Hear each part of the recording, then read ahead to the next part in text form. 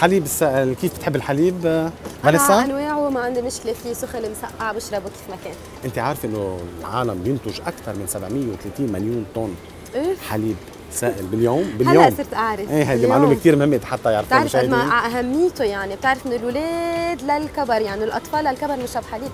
طبعا وخاصة الحليب البقر هو أكثر شيء معروف عالميا. هلا صح، عندك طيب. حليب النعجه حليب الثور حليب الجمل حليب المعزة. حتى في أصناف غير الحيوانية مثل حليب اللوز الرز. مزبوط بالضبط. بس حليب الحليب البقر الفرن. أكثر شيء معروف عالميا حتى بتلذذ وتناوله على مدار النهار. صح.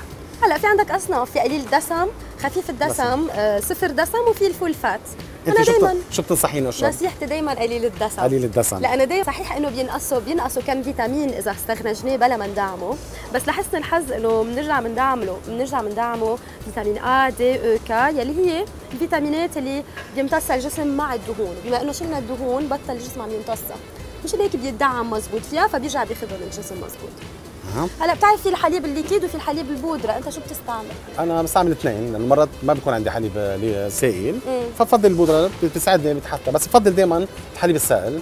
هلا كل أصناف الحليب فيها كثير كالسيوم وفيها كثير بروتين. دائما بننصح إنه الحليب الأشخاص الرياضيين ياخذوا دائما كبايه حليب آه، مباشرة بعد الأكل. يعني دائما بيقولوا لهم بروتين وكلوا تونة وكلوا بيض بس الحليب لأنه liquid لأنه سائل الجسم دغري بيمتصه والعضلات دغري آه، يعني بيتقوى بالبروتين من وراء الحليب. plus ال- للأطفال آه، كثير بنسأل هالسؤال إنه فينا نشربي اولادنا آه، أصناف حليب معينة.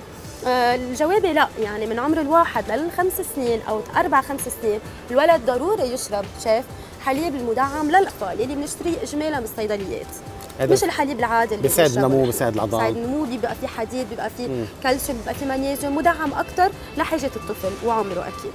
حتى كمان في عندنا نحن هذا الحليب السائل موجود عندنا هون وهذا حليب البراد هون كمان ما تلاحظوا دائما تأكدوا من تاريخ الصلاحية يعني بس نشتري الحليب دائما يتأكدوا إنه تاريخه آه، ما شارف على ما أو ما قارب على الانتهاء صح. يكون معه فترة طويلة.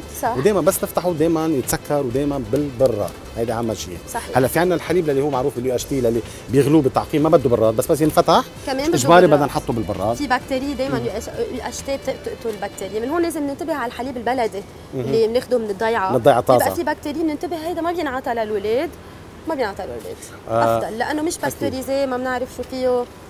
اليوم مثل ما بتعرفي كمان. الحليب اللي عاملينه اللبن واللبنه والجبنه والحلويات يعني آه حتى بناخده سناك وبناخده على الترويقة بناخده مثل ما هو وبنزيده على كل شيء في أطباق يعني. طب اللي عنده حساسية على حليب البقر مثلا شو ممكن ياخذ بديل حليب مثلا؟ exactly مثل ما قلت لك في عندك غير أصناف مثل حليب الصويا حليب الرز حليب اللوز. هلأ حليب الرز ما في كثير بروتين بس حليب الصويا وحليب اللوز كثير غنيين بالبروتين يلي هي نباتيه بدل ما تكون من البقر. آه دائما ال lactose intolerant يعني الأشخاص اللي عندهم حساسية على اللاكتوز اللي هي سكر الحليب بيقدروا ياخذوا هوديك الأصناف مثل الصويا والألمونز اللي أنا بنصح فيهم. أنا شو بتنصحيني أخذ؟ لكن قليل ناخذ دسم هيدا أكيد قليل أفضل دسم قليل الدسم. يلا اتكلنا أنا كان بدي كامل بس كرمالك اليوم خلينا نروح. تعود عليه مع شوية شوكولا بيمشي الحال. يلا ماشي. الحال. خلينا نكفي شوبينج